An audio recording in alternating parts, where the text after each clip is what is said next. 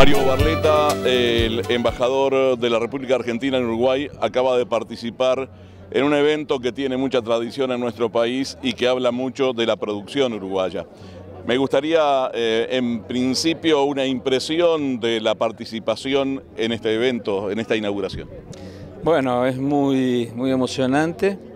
Eh, estamos muy contentos de volver a participar eh, en Expo Prado, cosa que no pudimos hacer el año pasado.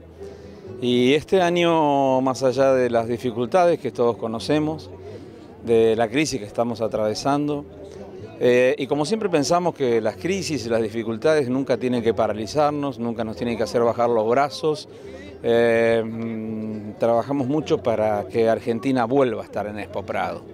Y más allá de los objetivos básicos de una exposición de esta naturaleza, en la que un país como Argentina expone sus capacidades turísticas, productivas, eh, lo hacemos desde una perspectiva política, porque creo que ambos países, más que nunca, y como ha sido en los mejores tiempos, tenemos que espalda contra espalda eh, eh, generar de esta crisis en la Argentina una oportunidad, la oportunidad de ser un país normal, una economía sana y fundamentalmente una república. Obviamente como periodista estaba en mis planes preguntarle acerca de cómo se ve desde Uruguay el momento que está viviendo su país. Seguramente con el corazón allá, el cuerpo acá, pero eh, siguiendo paso a paso los acontecimientos. Eh, ¿Cómo sale Argentina de, de esta situación?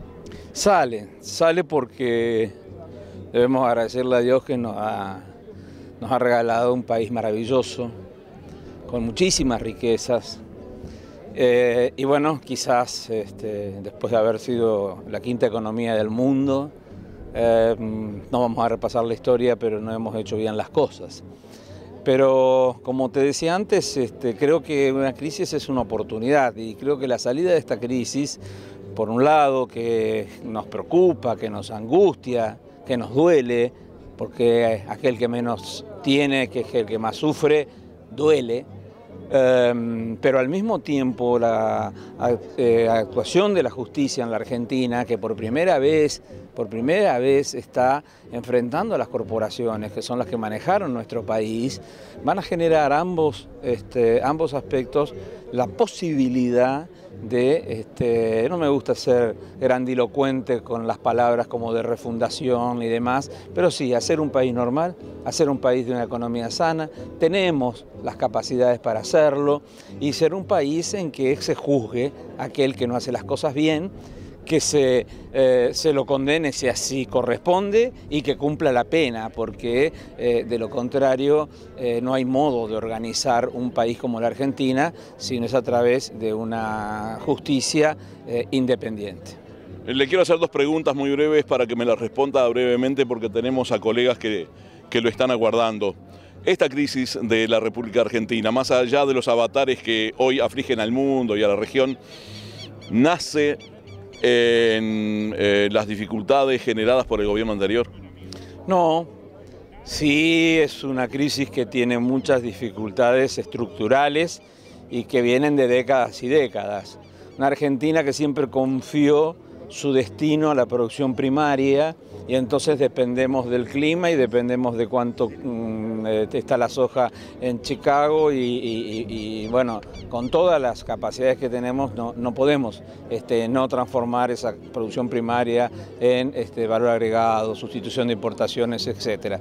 Lo que sí es cierto que el gobierno anterior este, desperdició una de las grandes oportunidades que tuvo la Argentina, cuando el precio de las sujas estuvo por 600, cuando el precio del barril de petróleo que exportábamos antes este, también tenía este, un precio.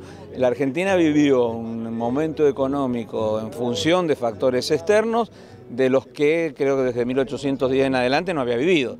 Eso se desaprovechó y además de eso se le incorporó una corrupción este, que no sé si hay un antecedente a nivel planetario.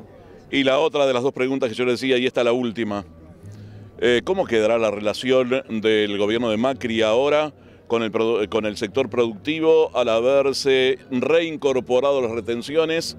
Algo que el propio Macri había prometido a los productores, a la producción primaria, no volver a, incorporarlas al sistema.